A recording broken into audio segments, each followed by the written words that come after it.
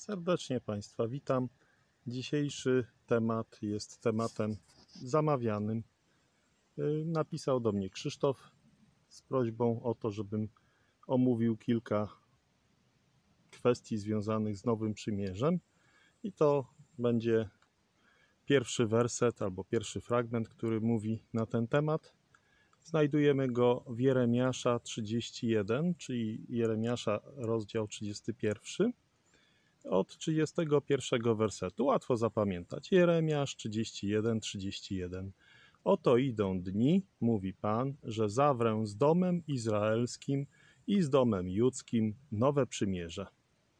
Nie takie przymierze, jakie zawarłem z ich ojcami w dniu, gdy ująłem ich za rękę, aby ich wyprowadzić z ziemi egipskiej, które to przymierze oni zerwali, chociaż ja byłem ich Panem, mówi Pan lecz takie przymierze zawrę z domem izraelskim po tych dniach, mówi Pan. Złożę mój zakon w ich wnętrzu i wypiszę go na ich sercu. Ja będę ich Bogiem, a oni będą moim ludem. I już nie będą siebie nawzajem pouczać, mówiąc: Poznajcie Pana, gdyż wszyscy oni znać mnie będą od najmłodszego do najstarszego z nich, mówi Pan.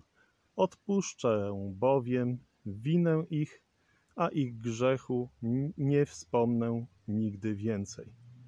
I tak mówi Pan, który ustanowił słońce, by świeciło w dzień, który wyznaczył księżyc i gwiazdy, by świeciły w nocy, który wzburza morze tak, że szumią jego fale, Pan zastępów jego imię. Jeżeli by te prawa miały się zachwiać przede mną, mówi Pan, to i ród Izraela przestałby być ludem przede mną. Tak mówi Pan, jak nie mogą być zmierzone niebiosa w górze i zbadane fundamenty ziemi w dole, tak i ja nie odrzucę całego potomstwa Izraela, mimo wszystko, co uczynili, mówi Pan. Oto idą dni, mówi Pan, że miasto będzie odbudowane dla Pana od wieży Hananela aż do bramy narożnej i tak dalej, i tak dalej.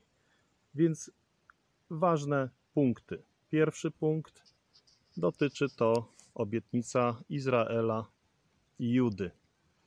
Y, jak wiemy z pierwszego listu do Koryntian, 10 rozdział, 32 werset, mamy trzy grupy w Biblii i te trzy grupy rządzą się różnymi prawami, różnymi y, takimi y, regułami. Pierwsza z nich to Żydzi, druga z nich to poganie, trzecia z nich to Kościół Boży.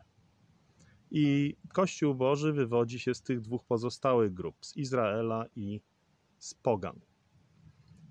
Nowe przymierze, jak tutaj widzieliśmy w Jeremiasza, jest obiecane Izraelowi i Judzie, czyli dwóm państwom, no nie tyle państwom, co dwóm grupom Izraela. Pierwsza grupa to są te plemiona, które były związane z Rehabeamem, a druga grupa to ta grupa, która była związana z Jeroboamem, kiedy nastąpił rozłam w Izraelu.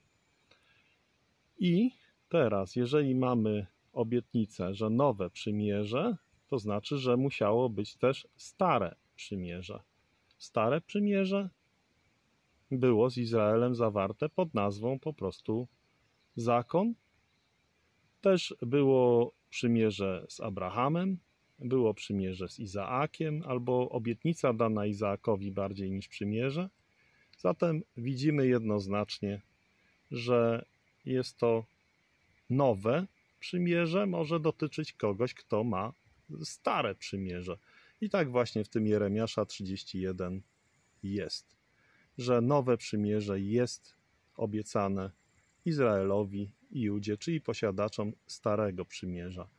Na ile mocne? Na tyle mocne, jak przymierze z niebem, ze słońcem, księżycem. Dlatego Pan Jezus mówi, że jeśli chodzi o trwałość tego przymierza, to ono jest związane z przeminięciem nieba i ziemi I to przeminięcie nieba i ziemi dopiero widzimy kiedy? W objawieniu 20 rozdział, kiedy przed obliczem Boga pierzchnie ziemia i niebo. Więc tutaj jednoznacznie nowe przymierze będzie zrealizowane jeszcze przed tym momentem, kiedy będzie czas sądu Białego Tronu, na którym usiądzie Pan Jezus i jest tam wyraźnie pokazane, że przed Jego obliczem ucieknie niebo i ziemia. Wtedy nowe przymierze zakończy rację bytu i jest to jednoznacznie związane z Jeremiasza 31, 31 i następne wersety. Czy dzisiaj jest już nowe przymierze? No więc dzisiaj jeszcze nowego przymierza nie ma.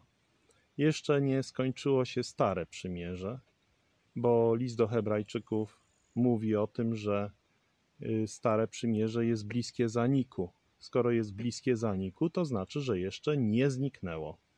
Zresztą nowe przymierze dotyczy Izraela i Judy, kiedy oni będą ponownie zgromadzeni w ziemi kananejskiej. I to się stanie dopiero po pochwyceniu Kościoła, po zabraniu wszystkich wierzących do nieba, po tym, gdy będzie siedmioletni ucisk, czyli 70 tydzień z proroctwa Daniela z 9 rozdziału, po tym, gdy ten 70 tydzień się skończy, odbędzie się sąd opisany w Mateusza 25 rozdział i wtedy zacznie się nowe przymierze. Czyli nowe przymierze jest jeszcze przed nami. Kościół jest nazwany, albo inaczej słudzy z kościoła wywodzący się są nazywani sługami nowego przymierza. Tak samo jak y, w normalnym życiu sługa nie ma udziału w tym, co należy do Pana, tak samo tutaj nie jest powiedziane, że chrześcijanie są w Nowym Przymierzu. Chrześcijanie dla Nowego Przymierza wykonują służebne działania. Te służebne działania to są na przykład tak jak Izrael dla nas zachowywał Pisma Święte Starego Testamentu, tak my dla Izraela przechowujemy między innymi wiele innych rzeczy. Między innymi świadectwo o żywym Bogu jest obecnie podtrzymywane przez Kościół Boży. Także prawda o tym, że Pan Jezus Chrystus jest Mesjaszem, to przecież Kościół podtrzymuje. Teraz, gdy Izrael jest praktycznie niewierny w całości lub z niewielkimi wyjątkami, to właśnie służba Kościoła, czyli chrześcijan, podtrzymuje te fakty. Stąd jesteśmy sługami Nowego Przymierza, sami nie będąc częścią Nowego Przymierza. Nowe Przymierze oczywiście jest zbudowane na doskonałej ofierze Pana Jezusa Chrystusa, czyli nie jest przypadkiem to, że gdy łamiemy chleb i pijemy z kielicha, to jest to nazwane jako symbole związane z Nowym Przymierzem, krew Nowego Przymierza. Dziękuję Państwu za uwagę. Mam nadzieję, że Pan Jezus pozwoli zrealizować kolejne odcinki będące odpowiedzią na pytanie Krzysztofa. Pozdrawiam Cię, Krzysztof, pozdrawiam wszystkich słuchających tego tematu. Z Bogiem.